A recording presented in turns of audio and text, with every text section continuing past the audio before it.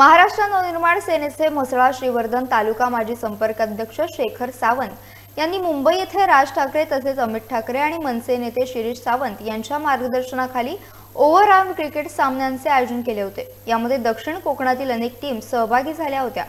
दरवर्षी कोकणातील युवकांना एकत्र आणून त्यांना अशा क्रीडात्मक गोष्टींना प्रोत्साहन देण्याचं काम ते सातत्याने करीत आहेत.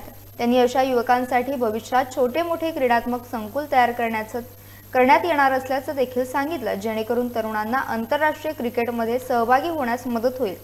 या घेण्यात आलेल्या स्पर्धेत खारगाव संघ मान विजयाचा मानकरी ठरलाय. यावेळी अनेक मनसेचे नेते पदाधिकारी उपस्थित होते.